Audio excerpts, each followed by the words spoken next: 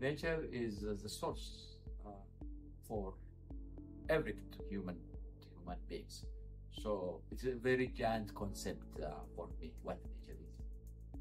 I think of home, home for all of us, all the people on this planet. Nature for me is the living world.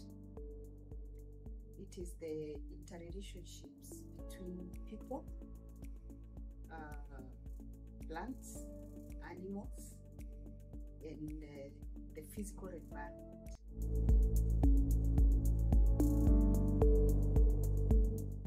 hippopotamus because it's very uh, mm, cute uh, and it's very beautiful animals.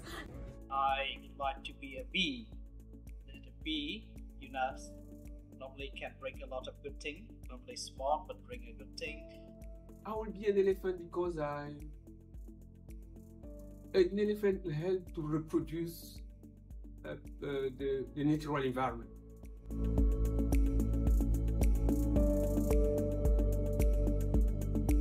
Appreciate the environment that they're in and appreciate how much it contributes to them.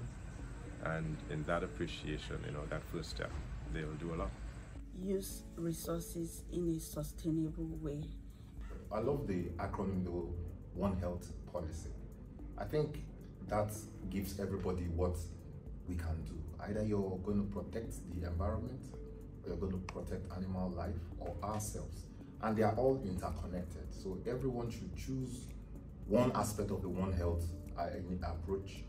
And I think the world will be a better place. First of all, it's very important for all of us, one, to appreciate and value nature.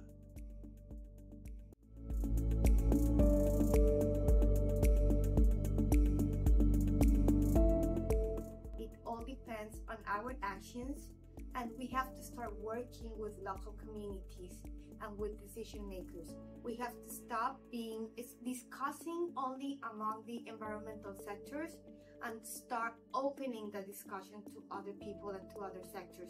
But I think it is possible to stop biodiversity loss. It is it all depends on us.